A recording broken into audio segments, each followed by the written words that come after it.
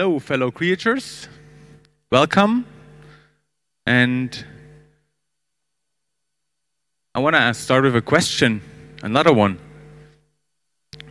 Who do we trust? Do we trust the trust zones on our smartphones? Well, Keegan Ryan, he's really fortunate um, to be here, and uh, he inspired. Uh, he was inspired by another talk um, from the CCC uh, before. I think it was 29C3, and um, his research on uh, smartphones and chips uh, systems on a chip used in smartphones will answer these questions if we can trust those trusted execution environments. Please uh, give a warm round of applause to Keegan and enjoy.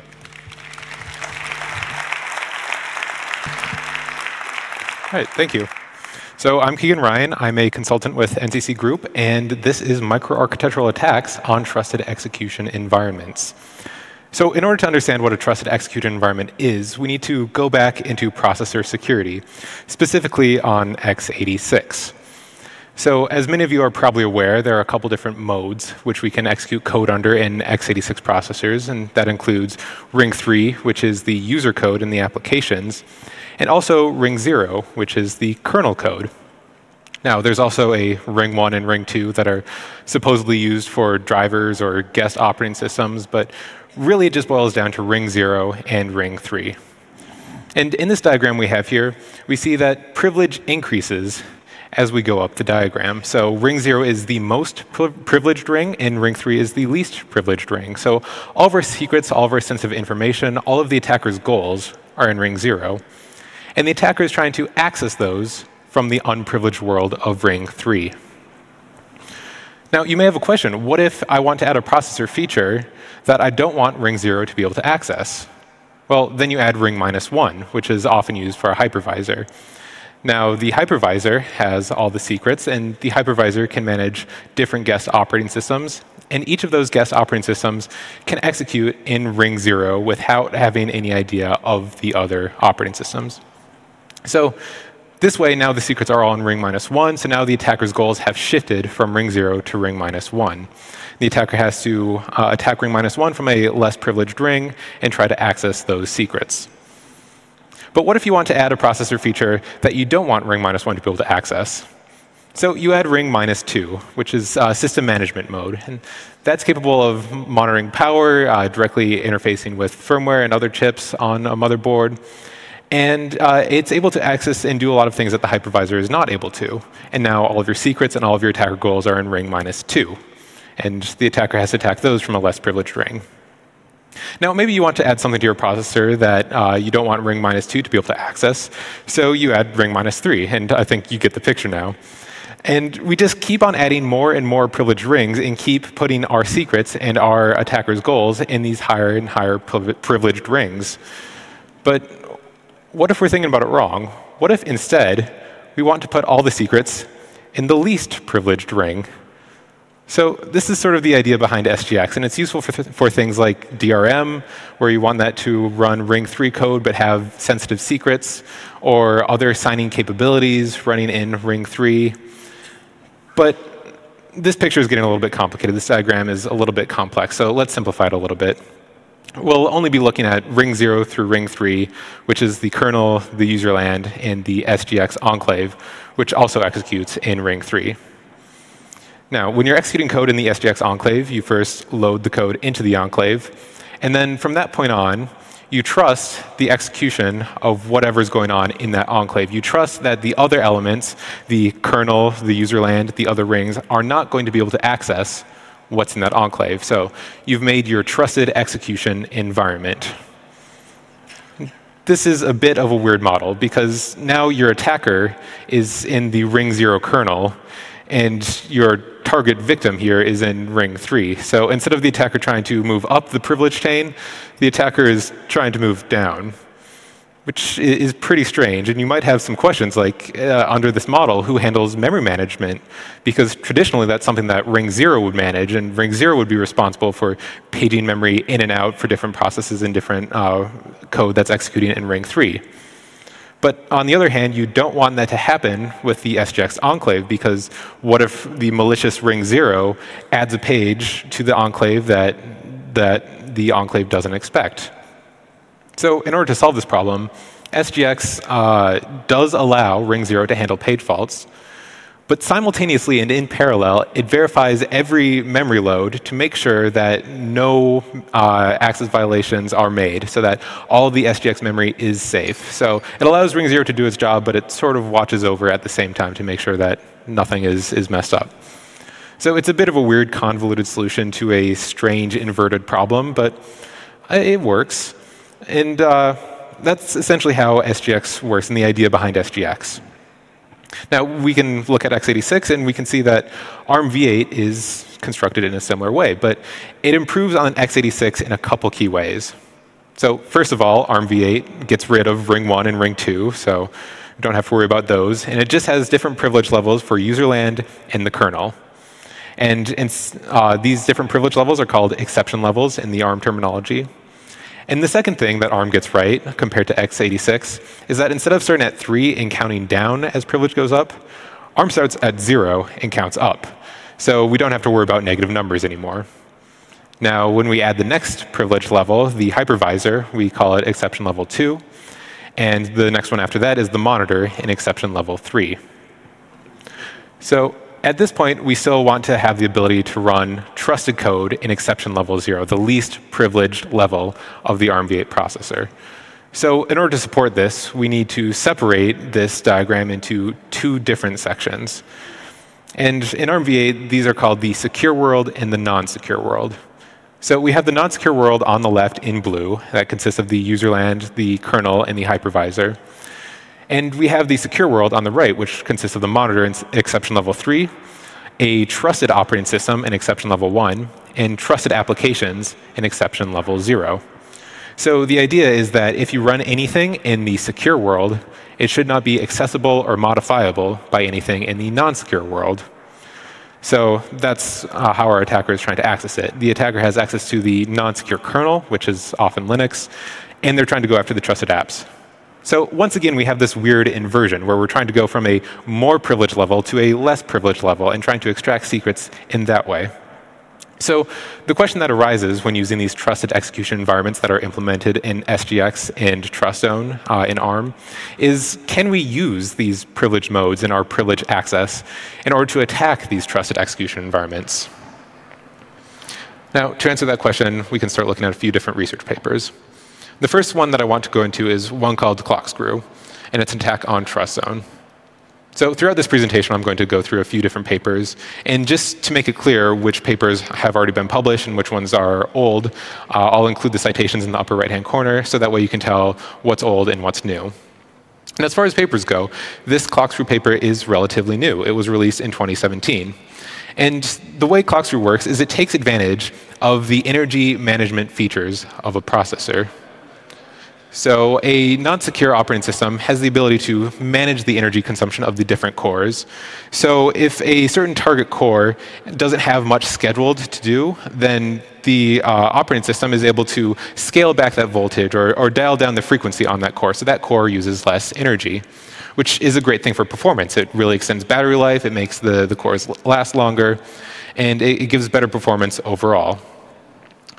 But the problem here is, what if you have two separate cores, and one of your cores is running this non-trusted operating system, and the other core is running code in the secure world. It's running that trusted code, those trusted applications.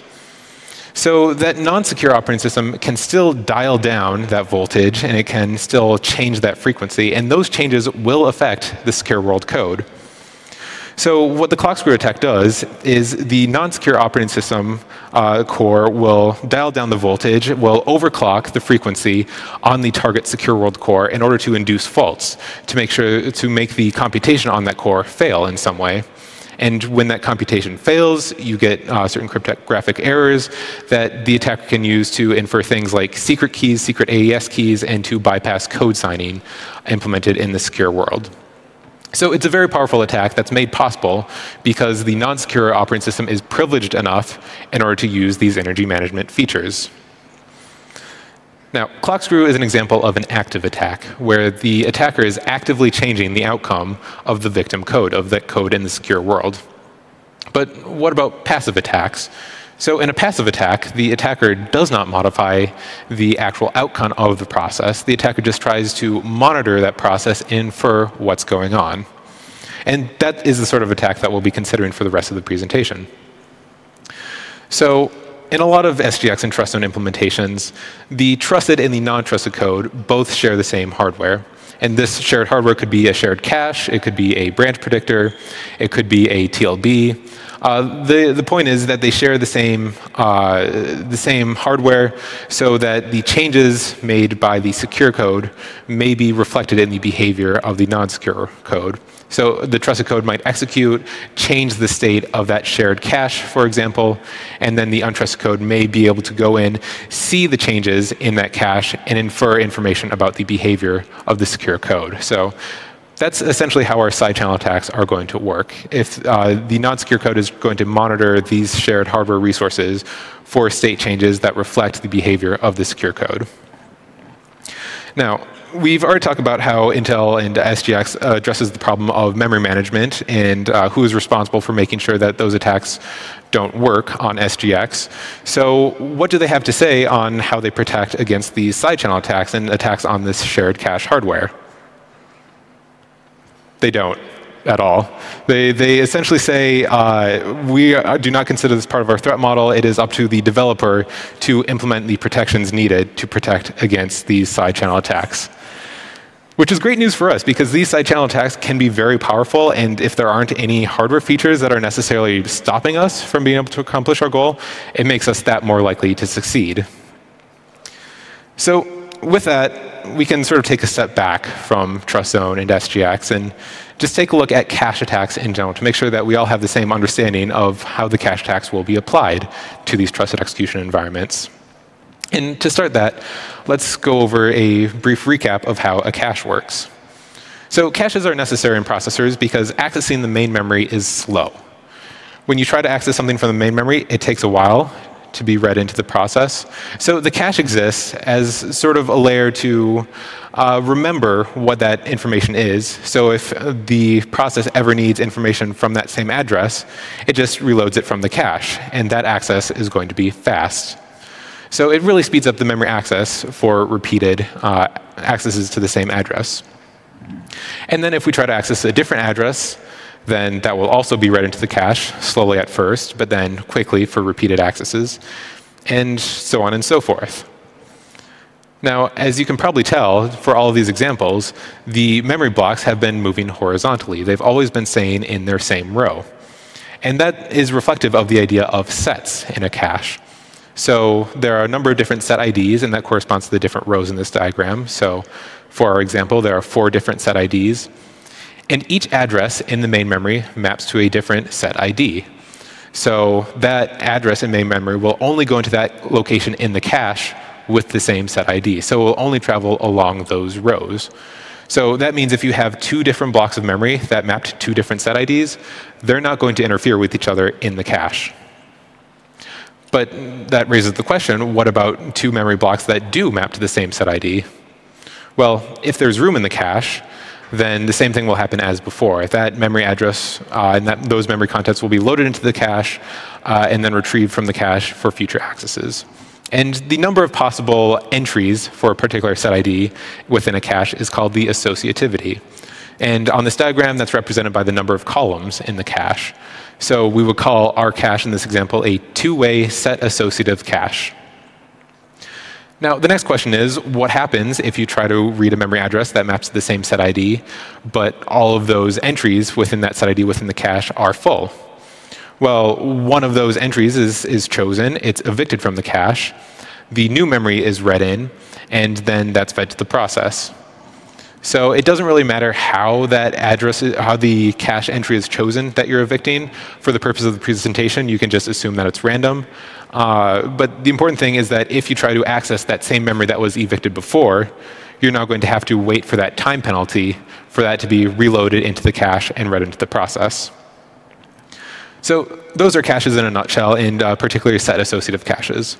We can begin looking at the different types of cache attacks.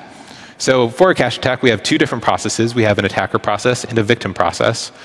And for this type of attack that we're considering, both of them share the same underlying code. So they're trying to access the same resources, which could be the case if you have uh, page duplication in virtual machines, or if you have copy on write mechanisms for shared code and shared libraries. Uh, but the point is that they share the same underlying memory. Now, the flush and reload attack works in two stages for the attacker. The attacker first starts by flushing out the cache. They flush each and every address that's in the cache, so the cache is just empty. Then the attacker lets the victim execute for a small amount of time, so the victim might read uh, an address from main memory, loading that into the cache. And then the second stage of the attack is the reload phase. So in the reload phase, the attacker tries to load different memory addresses from main memory and see if those entries are in the cache or not. So here, the attacker will first try to load address 0, and see that because it takes a long time to read the contents of address 0, the attacker can infer that address 0 was not part of the cache, which makes sense because the attacker flushed it from the cache in the first stage. The attacker then tries to read the memory at address 1 and sees that this operation is fast. So the attacker infers that uh, the contents of address 1 are in the cache, and because the attacker flushed everything from the cache before the victim executed, the attacker then concludes that the victim is responsible for bringing address 1 into the cache. So this flush and reload attack reveals which memory addresses the victim accessed during that small slice of time. And then after that reload phase, the attack repeats. So the attacker flushes again, lets the victim execute, reloads again, and so on.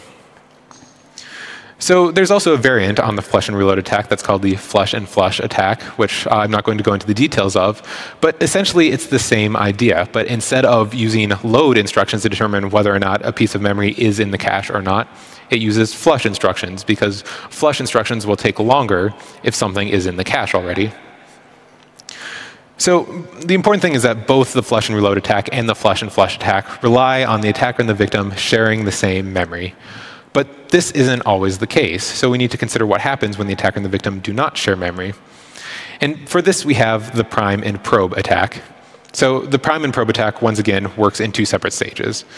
In the first stage, the attacker primes the cache by reading all the attacker memory into the cache, and then the attacker lets the victim execute for a small amount of time.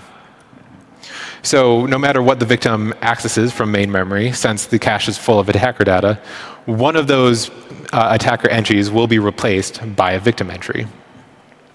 Then in the second phase of the attack, during the probe phase, the attacker checks the different cache entries for particular set IDs and sees if all of the attacker entries are still in the cache. So maybe our attacker is curious about the last set ID, the bottom row. So the attacker first tries to load the memory at address 3. And because this operation is fast, the attacker knows that address 3 is in the cache. The attacker tries the same thing with uh, address 7, sees that this operation is slow, and infers that at some point, address 7 was evicted from the cache. So the attacker knows that something had to evict it from the cache, and it had to be from the victim. So the attacker concludes that the victim accessed something in that last set ID, in that bottom row. The attacker doesn't know if it was uh, the contents of address 11 or the contents of address 15, or even what those contents are but the attacker has a good idea of which set ID it was. So the good things, the important things to remember about cache attacks is that caches are very important and they're crucial for performance on processors. They give a huge speed boost, uh, and there's a huge time difference between having a cache and not having a cache for your executables. But the downside to this is that big time difference also allows the attacker to infer information about how the victim is using the cache. We're able to use these cache attacks in the two different scenarios of where memory is shared in the case of the flush and reload and flush and flush attacks, and in the case where memory is not shared in the case of the prime and probe attack. And finally, the important thing to keep in mind is that for these cache attacks, we know where the victim is looking, but we don't know what they see. So we don't know the contents of the memory that the victim is accessing. We just know the location and the addresses. So what does an example trace of these attacks look like? Well, there's an easy way to represent these as two-dimensional images. So in this image, we have our horizontal axis as time. So each column in this image represents a different time slice, a different iteration of the prime, measure, and probe. So then we also have the vertical axis, which is the different set IDs, which is the location that's accessed by the victim process. And then here, a, a, pixel is white if the victim accessed that set ID during that time slice. So as you look from left to right as time moves forward, you can sort of see the changes in the patterns of the memory accesses made by the victim process. Now, for this particular example, the trace is captured on an execution of uh, AES repeated several times, an AES encryption repeated about 20 times. And you can tell that this is a repeated action because you see the same repeated memory access patterns in the data. You see the same structures repeated over and over. So you know that this is reflecting what's going on throughout time. But what does it have to do with AES itself? Well, if we take the same trace with the same settings, but a different key, we see that there's a different memory access pattern with different repetition within the trace. So only the key changed, the code didn't change. So even though we're not able to read the contents of the key directly using this cache attack, we know that the key is changing these memory access patterns. And if we can see these memory access patterns, then we can infer the key. So that's the essential idea. We want to make these images as clear as possible and as descriptive as possible so we have the best chance of learning what those secrets are. And we can define the metrics for what makes these cache attacks powerful in a few different ways. So the three ways we'll be looking at are spatial resolution, temporal resolution, and noise. So spatial resolution refers to how accurately we can determine the where. If we know that the victim accessed a memory address within 1,000 bytes, that's obviously not as powerful as knowing where they accessed within 512 bytes temporal resolution is similar, uh, where we want to know the order of what accesses the victim made. So if that time slice during our attack is one millisecond, we're going to get much better ordering information on those memory accesses than we would get if we only saw all the memory accesses over the course of one second. So the shorter that time slice, the better the, te the, temporal resolution, the longer our picture will be on the horizontal axis, and the clearer of an image of the cache that we'll see. And the last metric to evaluate our attacks on is noise, and that reflects how accurately our measurements reflect the true state of the cache. So right now we've been using time and data to infer whether or not an item was in the cache or not. But this is a little bit noisy. It's possible that we'll have fa false positives or false negatives. So we want to keep that in mind as we look at the different attacks. So that's essentially cache attacks in, the, in, a nutshell, and that's all you really need to understand in order to understand these attacks as they've been implemented on trusted execution environments. And the first particular attack that we're going to be looking at is called a controlled channel attack on SGX.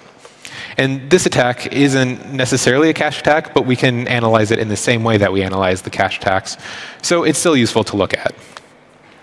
Now, if you remember uh, how memory management occurs with SGX, we know that if a page fault occurs during SGX enclave code execution, that page fault is handled by the kernel. So the kernel has to know which page the enclave needs to be paged in. So the kernel already gets some information about what the enclave is looking at. Now, in the control channel attack, there's a, uh, what the attacker does from the non-trusted OS is the attacker pages almost every other page from the enclave out of memory.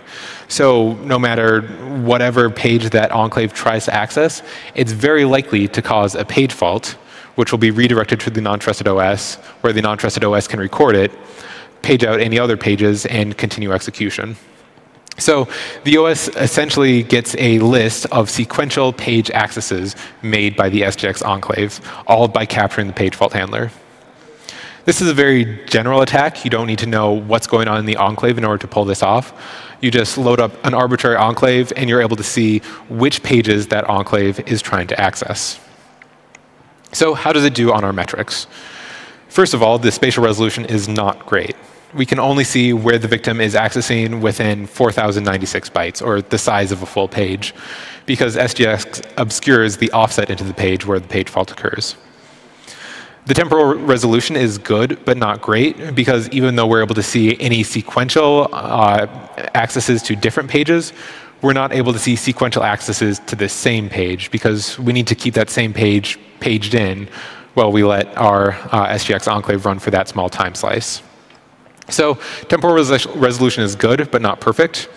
Uh, but the noise is, there is no noise in this attack because uh, no matter where the page fault occurs, the untrusted operating system is going to capture that page fault and is going to handle it. So it's very low noise, not great spatial resolution, but overall still a powerful attack. But we still want to improve on that spatial resolution. We want to be able to see what the enclave is doing at greater than a resolution of a one page of four kilobytes. So that's exactly what the CacheZoom paper does. And instead of interrupting the SGX enclave execution with page faults, it uses timer interrupts. Because the untrusted operating system is able to schedule when timer interrupts occur, so it's able to schedule them at very tight intervals. So it's able to get that small and tight temporal resolution. And essentially what happens in between is uh, this timer interrupt fires, the untrusted operating system runs the prime and probe attack code in this case, and uh, resumes execution of the enclave process in this repeat. So this is a prime and probe attack on the L1 data cache. So this attack lets you see what data the enclave is looking at. Now, this attack could be easily modified to use the L1 instruction cache. So in that case, uh, you learn which instructions the enclave is executing. And uh, overall, this is an even more powerful attack than the controlled channel attack. If we look at the metrics, we can see that the spatial resolution is a lot better. Now we're looking at a spatial resolution of 64 bytes, or the size of an individual line. The temporal resolution is very good. It's almost unlimited, to quote the paper, because the untrusted operating system has the privilege to keep scheduling those time interrupts closer and closer together until uh, it's able to capture very small time slices of the victim process. And the noise itself is low.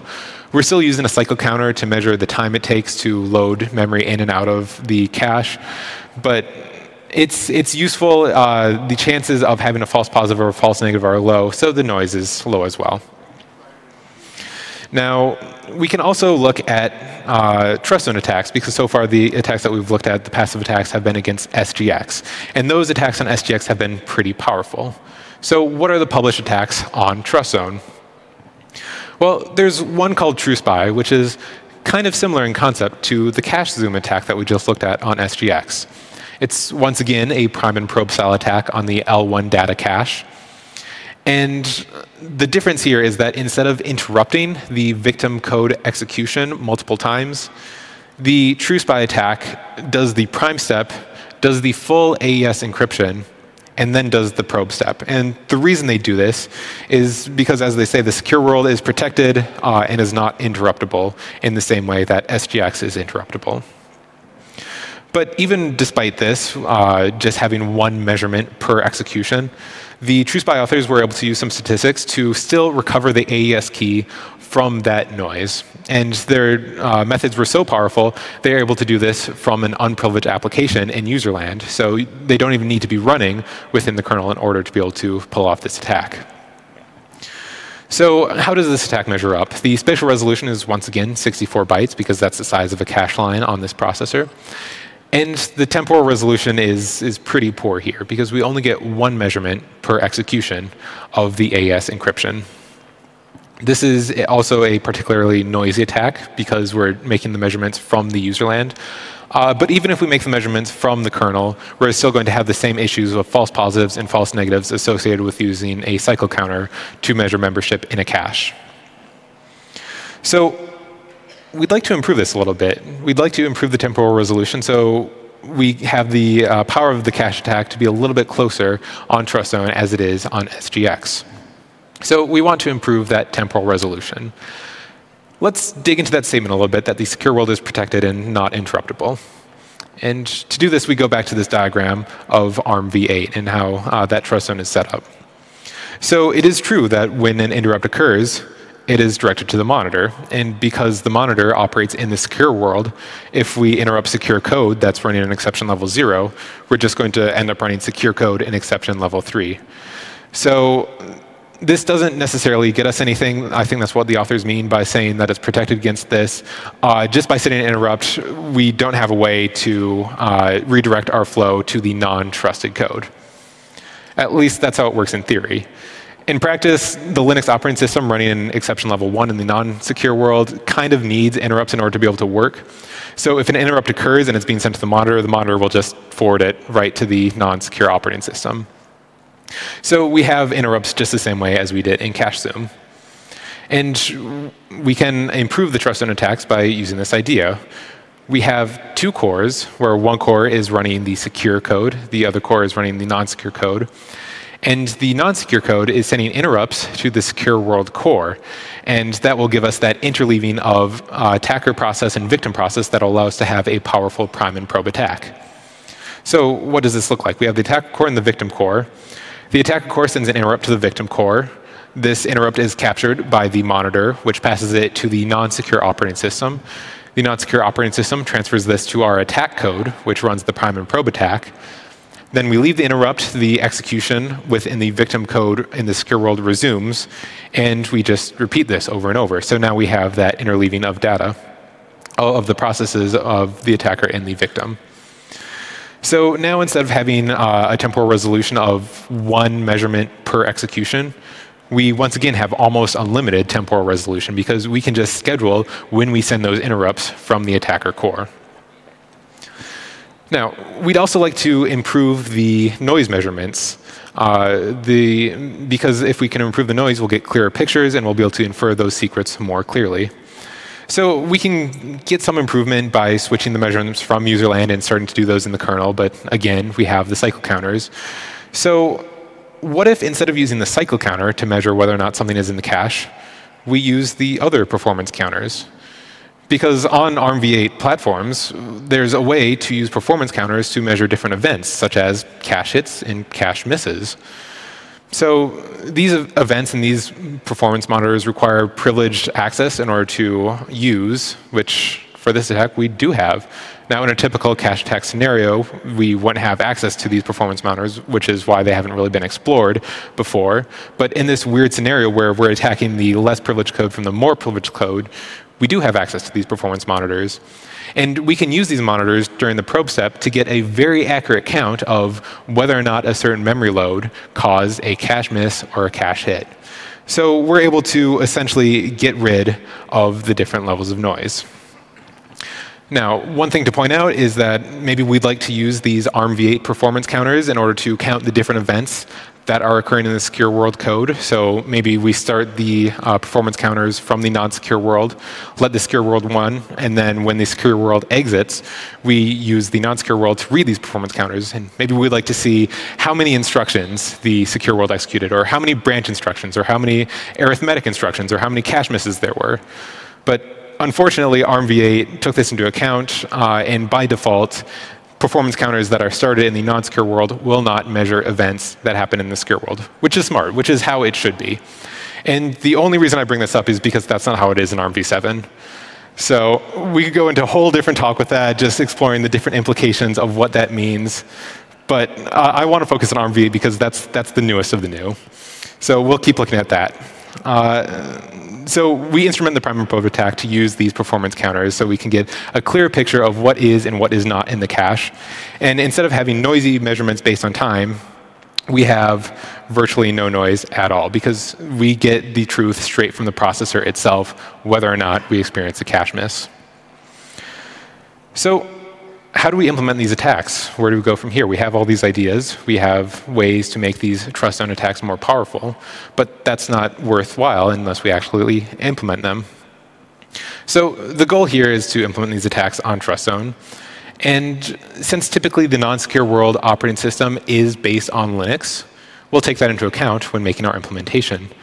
So we'll write a kernel module that uses these performance counters and these interprocessor interrupts in order to actually accomplish these attacks. And we'll write it in such a way that it's very generalizable. So you can take this kernel module that was written for one device. Uh, in my case, I did most of my testing on the Nexus 5X. And it's very easy to transfer this module to any other Linux-based device that has a TrustZone, that has these shared caches. So it, it should be very easy to port this over. And to perform these same powerful cache attacks on different platforms.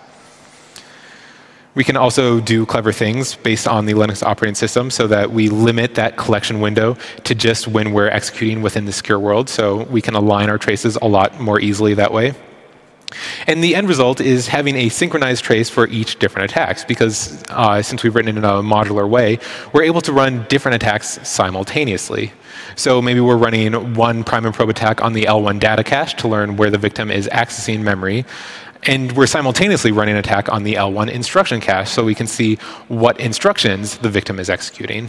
And these can be aligned. So the, the tool that I've written is a combination of a kernel module, which actually performs this attack, uh, a userland binary, which schedules these processes to different cores, and a GUI that will allow you to interact with this kernel module and rapidly start doing these cache attacks for yourself and perform them against different uh, processes and secure code uh, and secure world code.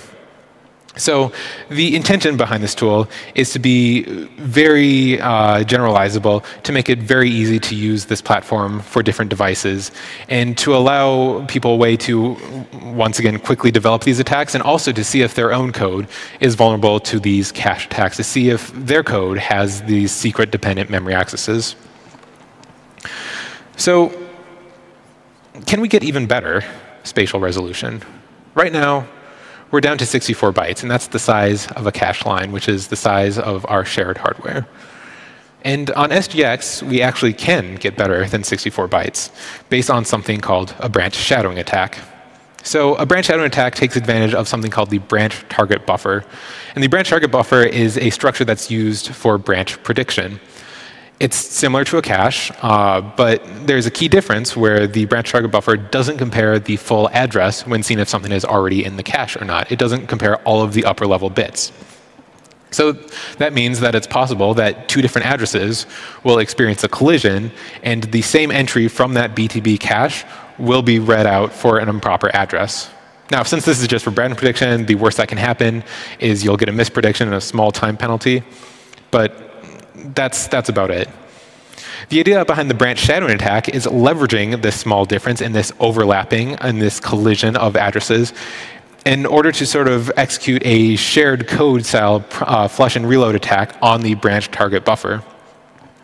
So uh, here what goes on is during the attack, the attacker modifies the SGX enclave to make sure that the branches that are within the enclave will collide with branches that are not in the enclave the attacker executes the enclave code, and uh, then the attacker executes their own code, and based on the outcome of the, the victim code in that cache, the attacker code may or may not experience a branch prediction. So the attacker is able to tell the outcome of a branch because of this overlap in this collision, uh, like it would be in a flush and reload attack where those memories overlap between the attacker and the victim. So here, our spatial resolution is fantastic. We can tell down to individual branch instructions in SGX. We can tell exactly which branches were executed and which directions they were taken in the case of conditional uh, branches. The temporal res resolution is also, once again, almost unlimited because we can use the same uh, timer interrupts in order to schedule our process, uh, our attacker process. And the noise is, once again, very low because we can, once again, use the same sort of branch uh, misprediction counters that exist in the Intel world in order to measure this noise. So does anything of that apply to TrustZone attacks? Well, in this case, the victim and the attacker don't share entries in the branch target buffer because the attacker is not able to map the virtual address of the victim process. But this is kind of reminiscent of our earlier cache attacks. So our flush and reload attack only worked when the attacker and the victim shared that memory, but we still have the prime and probe attack for when they don't. So what if we use a prime and probe style attack on the branch target buffer cache in ARM processors? So essentially what we do here is we prime the branch target buffer by executing many attacker branches to sort of fill up this BTB cache with the attacker branch prediction data. We let the victim execute a branch, which will evict an attacker BTB entry. And then we have the attacker re-execute those branches and see if there have, there have been any mispredictions. So now, uh, the cool thing about this attack is the structure of the BTB cache is different from that of the L1 caches. So instead of having 256 different sets in the L1 cache, the BTB cache has 2,048 different sets. So we can tell which branch uh, it, it, attacks based on which one of 2,048 different uh, set IDs that it could fall into. And even more than that, on the ARM platform, at least on the Nexus 5X that I was uh, working with, the granularity is no longer 64 bytes, which is the size of the line. It's now 16 bytes. So we can see which branches the, uh, the trusted code within TrustZone is executing within 16 bytes. So what does this look like? So previously with the TruSpy attack, this is sort of the outcome of our prime and probe attack. We get one measurement for those 256 different set IDs. When we added those interrupts, we were able to get that time resolution, and it looks something like this. Now, maybe you can see a little bit at the top of the screen how there's these repeated sections of little white blocks. And you can sort of use that to infer, like maybe there's the same cache line and cache instructions that are called over and over. So just looking at this L1I cache attack, you can tell some information about how the process went. Now, let's compare that to the BTB attack. And I don't know if you can see too clearly. Uh, it's, a, it's a bit too high of a resolution right now, so let's uh, just focus in on one small part of this overall trace. And this is what it looks like. So each of those white pixels represents a branch that was taken by that secure world code. And we can see repeated patterns, we can see maybe different functions that were called, we can see different loops. And just by looking at this one trace, we can infer a lot of information on how that secure world executed. So it's incredibly powerful, and all of those secrets are just waiting to be uncovered using these new tools. So where do we go from here? What sort of countermeasures do we have? Well, first of all, I think the long-term solution is going to be moving to no more shared hardware. We need to have separate hardware and no more shared caches in order to fully get rid of these different cache attacks. And we've already seen this trend in different cell phones. So, for example, in uh, Apple SoCs for uh, a long time now, I think since the Apple A7, the secure enclave, which runs the secure code, has its own cache. So these cache attacks can be accomplished from code outside of that secure enclave. So just by using that separate hardware, it knocks out a whole class of different potential side channel and microarchitectural attacks. And just recently, the Pixel 2 is moving in the same direction. The Pixel 2 now includes a hardware security module that includes cryptographic operations, and that chip also has its own memory and its own caches. So now we can no longer use this attack to uh, extract information about what's going on in this external hardware security module. But even then, using this separate hardware, that doesn't solve all of our problems. Because we still have the question of what do we include in this separate hardware. On the one hand, we want to include more code in that separate hardware, so we're less vulnerable to these uh, side channel attacks. But on the other hand, we don't want to expand the attack surface uh, anymore because the more code we include in these secure environments, the more likely that a vulnerability will be found uh, and the attacker will be able to get a foothold within this secure, trusted environment. So there's going to be a balance between what do you choose to include in this separate hardware and what you don't. So do you include DRM code? Do you include cryptographic code? Uh, it's still an open question. And that's sort of the long-term approach. In the short term, you just kind of have to write side channel free software. Just be very careful about what your uh, process does, if there are any secret dependent memory accesses or secret dependent branching or secret dependent function calls, because any of those can leak the secrets out of your trusted execution environment. So here are the things that if you are a developer of trusted execution environment code that I want you to keep in mind. First of all, performance is very often at odds with security. We've seen over and over that the performance uh, enhancements to these processors open up the ability for these uh, microarchitectural attacks to be more efficient. Additionally, these, these trusted execution environments don't protect against everything. There are still these side channel attacks and these microarchitectural attacks that these systems are vulnerable to. These attacks are very powerful. They uh, can be accomplished simply. And with the publication of the code that I've written, it should be very simple to get set up and to analyze your own code to see, am I vulnerable? Do I expose information in the same way? And lastly, it only takes one small error, one tiny leak from your trusted and secure code in order to extract the entire secret in order to bring the whole thing down. So what I want to leave you with is I want you to remember that you are responsible for making sure that your program is not vulnerable to these microarchitectural attacks. Because if you do not take responsibility for this, who will? Thank you.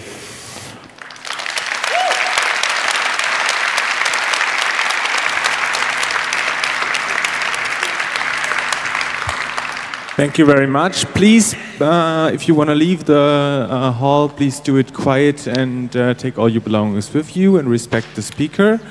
We have uh, plenty of time, 17 minutes for Q&A. So please line up on the microphones. No questions from the signal angel. All right. So we can start with microphone six, please. Okay. Uh, there was a symbol of secure OSs uh, at the ARM TrustZone. Which is the idea of them if the non-secure OS gets all the interrupts? What is the secure OS for?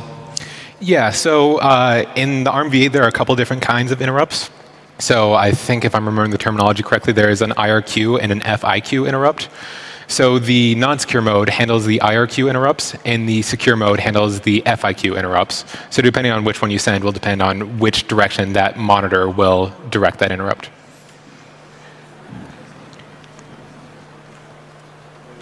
Thank you. Thank yep. you. Okay, thank you. Microphone number seven, please. Uh, does any of your uh, presented uh, attacks on TrustZone uh, also apply to the AMD uh, implementation of TrustZone, or are you looking into it? Uh, I haven't looked into AMD too much because, uh, as far as I can tell, that's not used as commonly. Um, but there are many different types of trusted execution environments. The two that I focus on were SGX and uh, TrustZone because those are the most common examples that I've seen. Thank you. Microphone number eight, please. Um, when uh, when TrustZone is moved to uh, to uh, dedicated hardware, uh, dedicated memory, couldn't you replicate the user space attacks by loading your own trusted user space app and use it as an oracle of some sort? Uh, if you can load your own trusted code, then yes, you could do that. But in many of the models I've seen today, uh, that's not possible. So that's why you have things like code signing, uh, which prevent the arbitrary user from running their own code in the trusted OS or in the uh, the trusted environment. All right, microphone number one. Um, some of these attacks are, are, more powerful against code that's running in um, trusted execution environments than uh, similar attacks would be against Ring 3 code, mm -hmm. uh, or in general untrusted code. Um, does that mean that trusted execution environments are basically an attractive nuisance that we shouldn't use? Uh, there's still a large benefit to using these trusted execution environments. The point I want to get across is that uh, although they add a lot of features, they don't protect against everything. So you should keep in mind that these side channel attacks do still exist and you still need to protect against them. But overall, these are better things uh, and worthwhile in including. Thank you. Microphone number one again, please. Um, so AMD is doing something with um, encrypting memory, and I'm not sure if they encrypt addresses too, I'm sure, but would that be a defense against such attacks? So I'm not too familiar with AMD, but uh, SGX also encrypts memory uh, and encrypts it in between the lowest level cache and the main memory. But that doesn't really have an impact on the actual operation because the memory is encrypted at the cache line level. And as the attacker, we don't care what that data is within that cache line. We only care which cache line is being accessed. If you, if you encrypt uh, addresses, wouldn't that help against that? If you, I'm not sure how you would encrypt the addresses yourself. Uh, as long as those addresses map into the same set IDs that the victim can map into, uh, then the victim could still pull off the same style of attacks. Great. We have a question from the internet, please. The question is, does the secure enclave on Samsung Exynos distinguish the receiver of the message so that if a user application asks to decode an AES message, can one sniff on the value that the secure enclave returns? So that sounds like it's asking about the uh, TruSpy style attack where it's calling into the secure world to uh, encrypt something with AES. I think that would all depend on the different implementation. As long as it's encrypting for a certain key and it's able to do that repeatably, then the attack would, uh, assuming a vulnerable AES implementation, would be able to extract that key out. Cool. Microphone number two, please. Can you recommend a reference to understand how these cache line attacks and branch uh, oracles actually lead to key recovery? Uh, yeah, so uh, I will flip through these pages, which uh, include a lot of the references for the attacks that I've mentioned. Uh, so if you're watching the, the video, you can see these right away, uh, or just access the slides. Um, and a lot of these contain good starting points. So I didn't go into a lot of the details on how, for example, the TruSpy attack recovered that AES key, but that paper does have a lot of good links for how uh, those fault in, uh, how, how, those errors can lead to key recovery. Same thing with the CLKSCREW attack, how the different fault injection can lead to key recovery. Thank you. Yeah. Microphone number six, please. I think my question might have been very almost the same thing. How hard is it actually to recover the keys? Is this like a massive machine learning problem, or is this something that you can do practically on, on single machine? It varies entirely by the implementation. So for all of these attacks to work, you need to have some sort of vulnerable implementation. And some implementations leak more data than others. Uh, in the case of a lot of the AES attacks, um, where you're doing the passive attacks, those are very easy to do on just your own computer. Uh, for the AES fault injection attack, I think that one required more brute force in the CLKSCREW paper. Uh, so that one required more computing resources, but still it was uh, entirely practical to do in a realistic setting. Cool, thank you. So we have uh, one more, microphone number one, please. So uh, I hope it's not a too naive question, but uh, I was wondering, since all these attacks are based on cache hit and misses, isn't it possible to forcibly flush or invalidate or insert noise in cache after each operation in trust in the trust environment uh, in order to mess up the guesswork of the attacker? Uh, and so um, discarding optimization and performance for additional security ben benefits. Yeah, and that's that is absolutely possible, and you are absolutely right. Uh, it does lead to a performance degradation because if you always flush the entire cache every time you do a, a context switch, that will be a huge performance hit. So again, that comes down to the question of the performance and security trade-off. Which one do you uh, end up going with? And it seems historically the choice has been more in the direction of performance. Thank you. Yeah. So we have one more, microphone number one, please. Uh, so I have more of a moral question. So how, how, well should we really protect from attacks which need uh, some ring zero cooperation? Because basically when we use TrustZone for purpose, we would uh, see clear like protecting the browser from interacting from outside world then we are basically using the safe execution environment for sandboxing the process. But once we need uh, some cooperation from the kernel, so the attacks in, in fact empower the user instead of the hardware producer. Yeah, uh, and you're right. It depends entirely on what your application is and what your threat model is that you're looking at. So if you're using these trusted execution environments to do DRM, for example, then maybe you would be worried about that ring zero attacker that privilege attacker who has their phone rooted and is trying to recover these uh, media encryption keys from this execution environment. But maybe there are other scenarios where you're not as worried about having an attack with a compromised ring zero. So it entirely depends on context. All right, thank you. So we have one more, microphone number one again. Hey there, great talk. Thank you very much. Thank you. Just a short question. Do you have any success stories about attacking the TrustZone and the different implementations of TEE with some vendors, like, I don't know, some OEMs creating phones and stuff? Uh, not that I'm announcing at this time. Okay. Thank you. Thanks. So thank you very much. Please, uh, again, a warm round of applause for Keegan.